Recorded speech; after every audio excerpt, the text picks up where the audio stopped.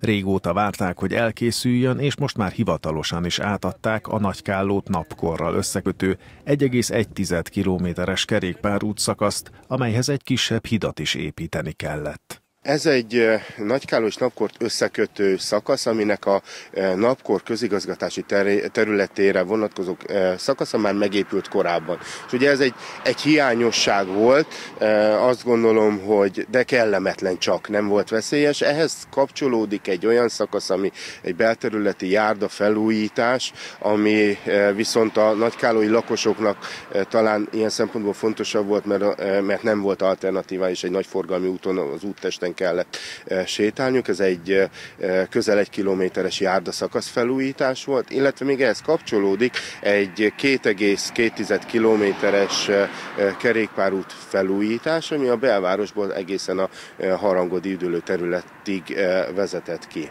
A Nagykállót napkorral összekötő útszakasz befejezése a harangodi üdülő területig vezető 2,2 kilométeres kerékpárút, valamint Nagykálló belterületének járdafelújítási munkálatai mintegy 178 millió forint Európai Uniós támogatásból jött létre, amelynek többletköltségeit a megye által adott forrásokkal egészítették ki. Simon Miklós országgyűlési képviselő kameránknak elmondta, egy-két éven belül akár 60-70 kilométer összefüggő útvonalat is tudnak majd használni az itt élő kerékpározók. Körülbelül 60 kilométer kerékpárutat építettünk 2014 óta.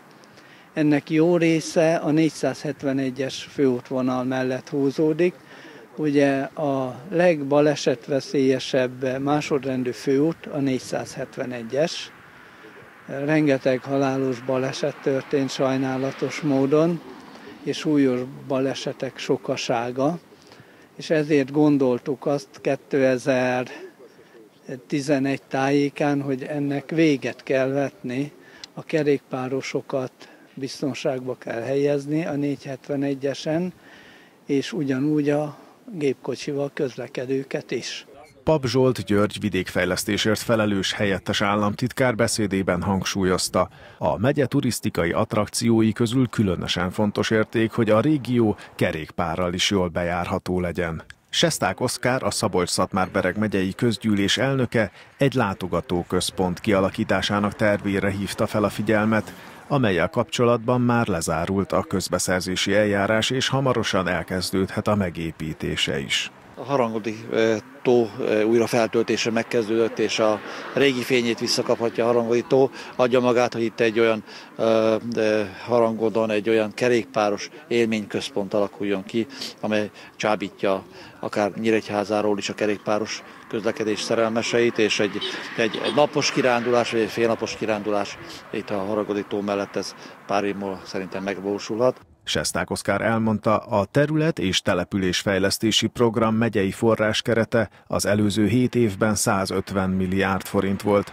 a következő 7 évben pedig 166 milliárd forinttal számolhat a megye, amelyből szintén közösségi fejlesztéseket valósítanak meg.